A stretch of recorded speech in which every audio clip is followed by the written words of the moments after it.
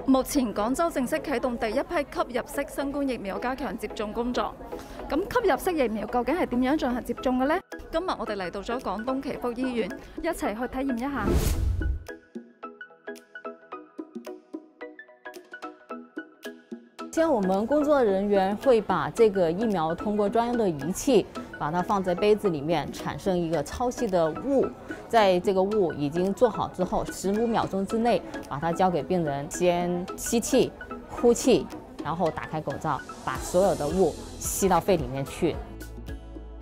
再憋五秒钟，就完成整个接种过程了。我吸的过程中没有什么感觉，但吸。